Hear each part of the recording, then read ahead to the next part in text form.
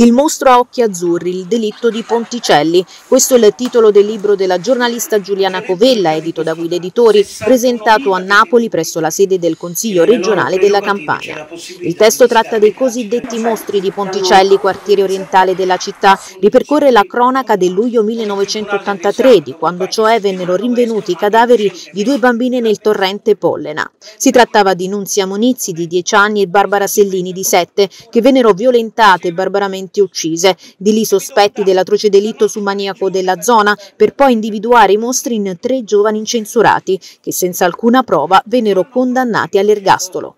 Sono diverse le tematiche ehm, che affronta questo libro. Sul delitto di Ponticelli. Da un lato c'è il potenziale errore giudiziario, dall'altro c'è la violenza sui minori.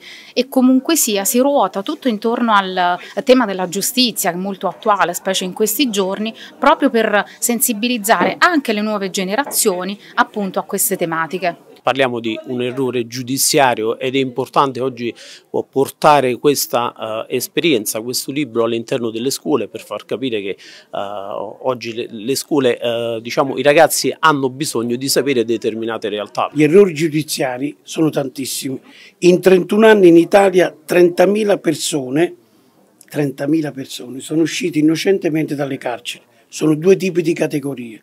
Quelli che sono usciti innocentemente stavano in carcere, in custodia cautelare, agli arresti domiciliari e quelli che con una condanna definitiva sono stati assolti in seguito a processi di revisione. Ora io mi chiedo e vi chiedo, se una persona esce dal carcere innocentemente, chi paga? Lo Stato, cioè i cittadini. E allora dobbiamo incominciare a evitare la custodia cautelare.